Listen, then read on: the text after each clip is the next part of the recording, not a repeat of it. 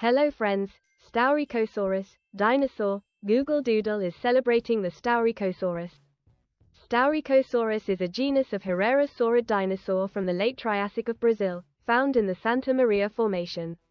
On the 19th of October in 2010, Alcober OA and Martinez RN published a silhouette reconstruction of the skeleton of the Staurikosaurus. This slideshow doodle celebrates the Staurikosaurus, one of the earliest dinosaurs ever discovered. Let's know more about Staurikosaurus, dinosaur. During a dig in 1936, paleontologist Llewellyn Ivor Prince found a theropod, a carnivorous, bipedal dinosaur, specimen at the Santa Maria Formation in southern Brazil. Thanks to radiocarbon dating of sediments surrounding the fossil, during the late Triassic period, about 225 million years ago. Also called the Southern Cross Lizard, the dinosaur was named after the Southern Hemisphere constellation. Prince's discovery is the only evidence of the Staurikosaurus to date, so our knowledge of the species is limited.